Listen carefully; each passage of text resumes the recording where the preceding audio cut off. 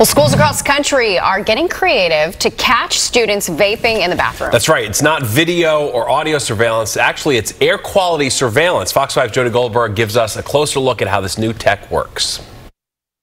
This little device dubbed FlySense is making a big impact on stopping students from vaping in schools. Looking at air quality, we're looking for what we define as a vaping signature. The vape detection system is being used in at least 75 districts throughout New York State. You can find it mounted on ceilings of bathrooms where cameras and microphones aren't allowed. When vape is exhaled, it picks up on a chemical change in the air, and the device automatically alerts administrators. We understand when this, the boys are spraying spraying their Axe body spray, and the girls may be spraying Taylor Swift or Beyonce body sprays, and the cleaning crew comes in spraying the Lysol. So we understand all that, but we're looking, hey, that is vape we see in the air. Derek Peterson developed the technology here on Long Island back in 2017 to help students stay safe in school. Now he says FlySense is in every state, 35 countries, and every day over 100,000 notifications are sent out to administrators around the world. Because of the Soter technology, it's uh, becoming a vape-free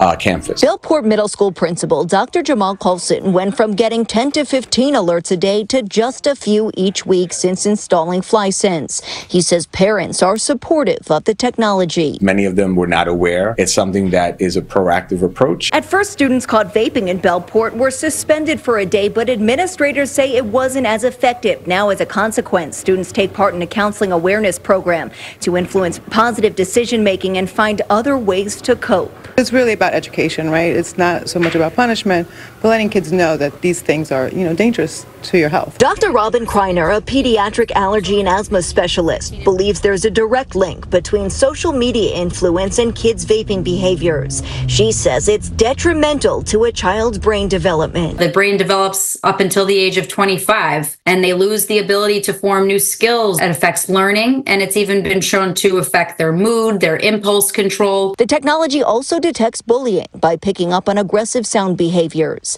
In Bellport, Long Island, Jody Goldberg, Fox 5 News.